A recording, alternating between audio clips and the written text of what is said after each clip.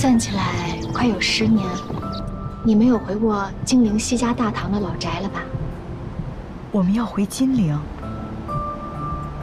那个老宅子，当年被火烧得破破烂烂的，这么多年又没有人去住过，也不知道成什么样子了。怎么突然想回那儿看看了？毕竟是母亲的娘家，我小时候也住过。嗯，我还记得，外祖父最是疼我。以后山条路远，想再回金陵，怕就难了。什么叫山条路远？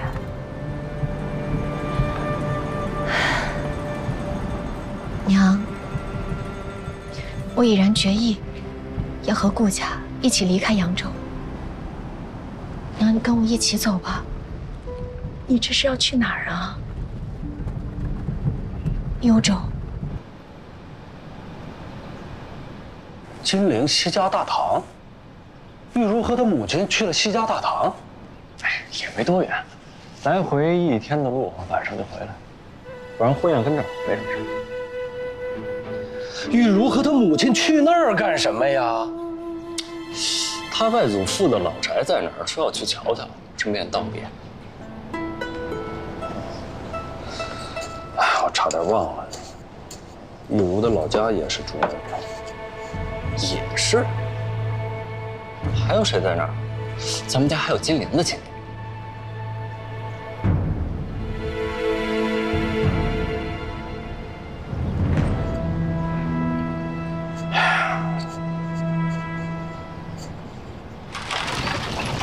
顾家要举家迁到幽州去，眼下扬州是什么光景？节度使的护狼之心，路人皆知，怕是待不长了。可是，真的要到了举家搬迁的地步了吗？其实，也不单单是顾家，在扬州，但凡有一些家底和产业的，不做思量，怕就晚了。娘，你别怕，到了幽州，日子我们照样过。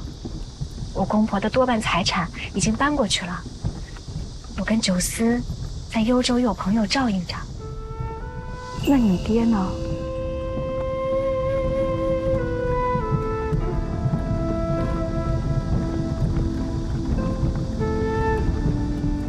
女儿想过无数次了，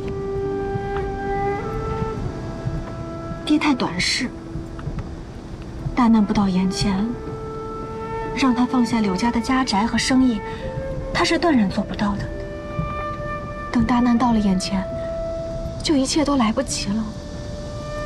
若真有那一日，我只有求顾家，让他们尽量周全，分出一车一马，帮爹逃难。若是连顾家都鞭长莫及，娘。